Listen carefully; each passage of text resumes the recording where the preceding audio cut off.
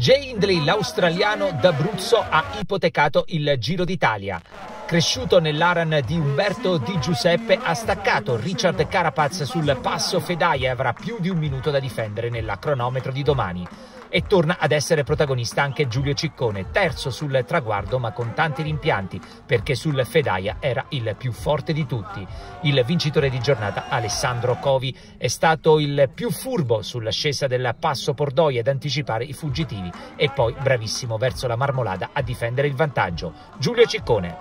Sì, ci tenevo, ci tenevo a vincere questa tappa e davvero un peccato per, per come è andata un po' tatticamente, le gambe secondo me c'erano per, per far bene, c'è un po' di dispiacere però dai.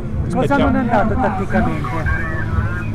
Ma c'è stato, diciamo che ci siamo studiati tanto sul Pordoi, io, il DSM, Jumbo Isma, un po' diciamo tutti i corridori lì e forse abbiamo sottovalutato un po' Covi che è andato fortissimo e, e niente, è andata così, complimenti veramente a lui, ha fatto veramente un grandissimo numero e penso che se la merita veramente.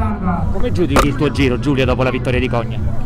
Ma non è stato, non è stato un giro ottimo per me, la condizione era quella che era e ho provato diciamo, a fare il massimo con quello che avevo, considerando tutti i problemi e tutto. Penso che sia un buon punto di, di ripartenza e ho provato in diverse tappe, una vittoria è arrivata, oggi diciamo, un'altra bella prestazione, quindi non, non mi posso lamentare, è stato un bel giro e ovviamente forse le ambizioni di restare con i migliori sempre sono svanite subito, però diciamo che con tutti i problemi era anche abbastanza prevedibile. Il rosa, il cielo, il passo